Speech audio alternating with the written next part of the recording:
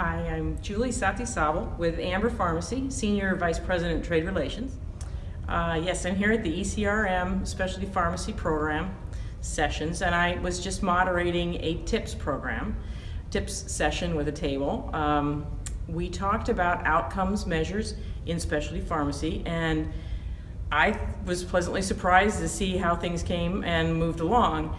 Um, first of all, we wanted to define what is an outcome measure, and I have that kind of behind me here.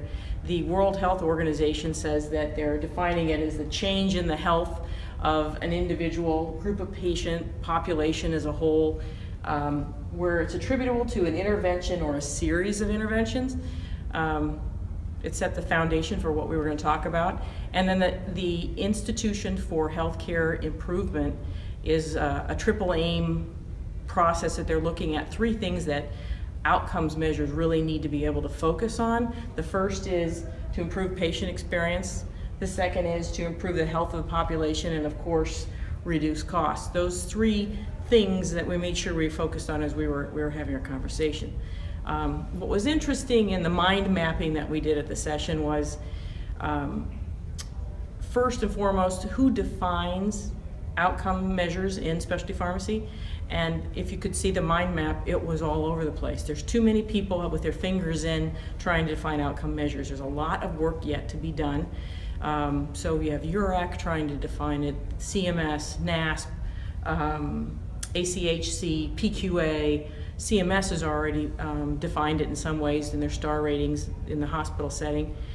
Um, there was a lot of conversation around how we still need to define it and whose role it is to define it. Then we moved into a governing body. Who should be the governing body looking at um, outcome measure specific to specialty pharmacy? And it's basically dependent on who's going to try to define it, who's going to be the governing body. We kind of agreed in the two sessions that uh, National Association of Specialty Pharmacy should get more involved and be more active. There were a group of us that said we would be part of a, I'll use the term think tank, um, willing to be involved to try to help define this. So um, there's about eight of us now going to get together on a routine basis and, and move this outcome measure stuff forward. The next component we went to were defining, uh, I should say the data, it's data driven. So if you're gonna measure something, an outcome, you need to measure a process also. And right now, like as an example we used in the session was time to fill. How do you define time to fill? There's multiple points along the way. Not every specialty pharmacy is defining it the same. So that was another uh, long discussion in the group. Uh, the last point we went to is if you were to give, if there were a top four or five um, measures in specialty pharmacy, what would those be?